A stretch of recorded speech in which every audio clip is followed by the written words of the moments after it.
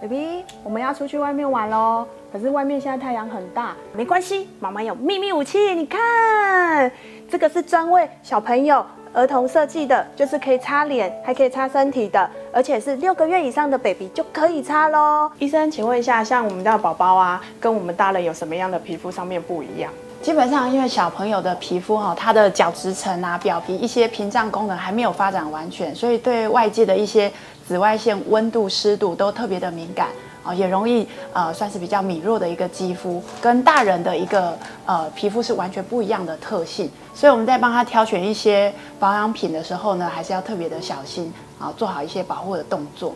那像如果说像小朋友啊，去外面晒太阳、防晒，那个紫外线会不会对他们皮肤上面会有一些的伤害？呃，大家都知道说晒太阳可能会晒伤哦，这是一个急性的一个伤害。那紫外线其实它有分 UVA 和 B，那这两个部分呃，除了造成急性的一个晒伤之外，也有可能是一个慢性的伤害哦，譬如说皮肤的光老化，那或是一些光的其他的皮肤的疾病。但最严重的就是造成皮肤癌哦，而且它是一个日积月累的一个伤害。所以现在大家都有一个基本的概念，防晒应该要从小就要帮小朋友做好防晒的一个动作。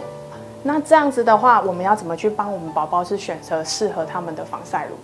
呃，其实现在大家的皮肤科医师的一个共识是，六个月以下的小朋友，我们建议就是说，哎，可以穿长袖的衣物，或者是戴帽子、撑伞，做一个物理性的一个防晒。啊，那如果六个月以上的话呢，可以挑选宝宝啊，或是小朋友专用的防晒产品。好来帮小朋友做一个防晒，基本上我比较不建议说爸爸妈妈把自己的防晒成人用的给小朋友做使用，因为刚刚我们有提到，就是小朋友的皮肤其实是相当的敏感脆弱，所以我建议啊爸爸妈妈在挑选的时候可以选用一些专门为小朋友设计的防晒产品。那因为我们的皮肤是呈现弱酸性，所以也可以挑选 pH 五点五的。一个特性的一个防晒产品，那专门为小朋友设计的话，是它的配方的一个特性是比较适合小朋友的，比较不会出现过敏或是敏感的问题。好，这样子的一个防晒产品是比较 OK 的。那这样子的话，如果说像我们出去玩水的话，去海边玩水，那有没有什么要特别的去注意？